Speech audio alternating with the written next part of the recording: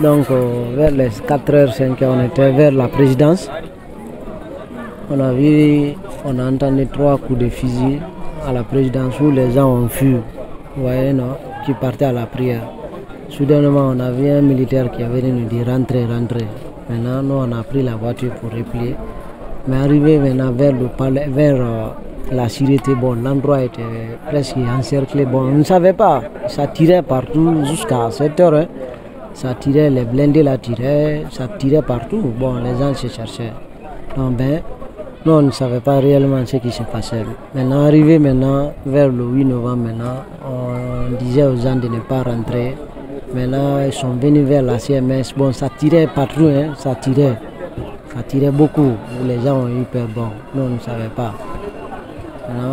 Après ce peu de temps, on a vu certaines personnes attachées bon, dans les pick-up de force spéciale. Ben, moi, je ne savais pas réellement ce qui se passait. Mais après, maintenant, j'ai compris qu'il y a eu une évasion à la maison centrale. Bon, quand même, à 4 heures, quand même, en ville, c'était compliqué. Ça s'était passé vers 4h, 5h. Vers 4 heures, 5 heures. Parce que nous, on rentre à 4 heures en ville pour vendre. Bon, vers 5 heures quand même. hein. Moi, quand même, les premiers coups que j'ai entendus, c'était au niveau du palais quand même. Après, maintenant, on a entendu les sommations partout. Merci.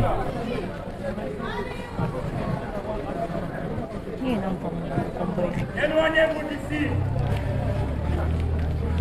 Vous n'avez rien à faire ici, éloignez-vous.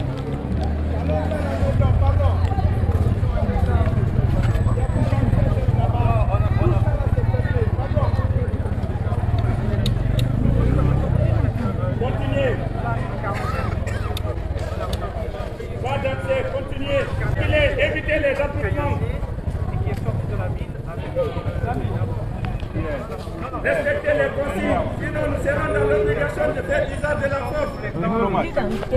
Éloignez-vous.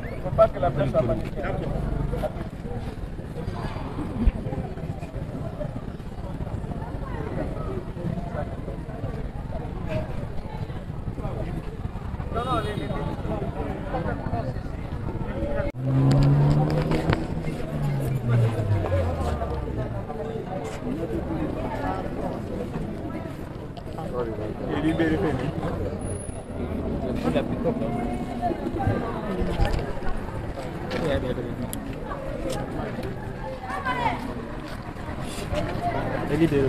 Ah my god, tous ceux qui ne sont pas journalistes partez. Hein.